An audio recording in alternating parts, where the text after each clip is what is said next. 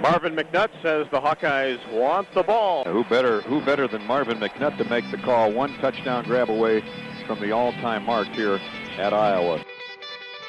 Vandenberg trying to answer back on second and 10. Plenty of time. Fires upfield. McNutt's wide open at midfield. Nobody within 20 yards. Here comes the record-setting touchdown. Marvin McNutt, number 22, on an 80-yard catch and run. A blown Indiana defense. Welcome to the record books.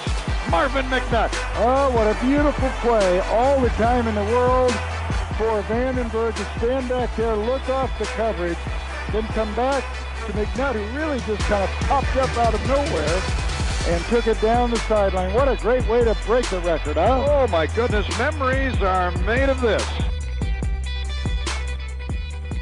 They're going to go back to him again. Go up there and get it, Marvin. He does this time. Touchdown, Iowa. Well, how about that for instant replay to the good? You know, I love that. When a play is open, why call a different play? Go right back to it.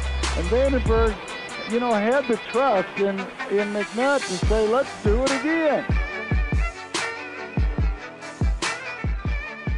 Out of the gun, Vandenberg straight back, deep drop, plenty of time, pump fake short, throws it to the end zone. He's got McNutt open. It's caught. It's a touchdown, Iowa.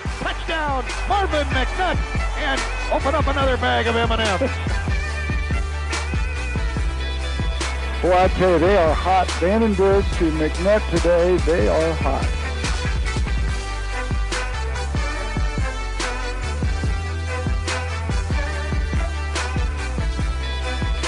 Marvin McNutt moves further into and up the record chart. Uh, he's caught three touchdown passes. He's the all-time uh, career touchdown uh, pass grabber now. He's now uh, passed Tim Dwight into second place in the all-time list for reception yardage.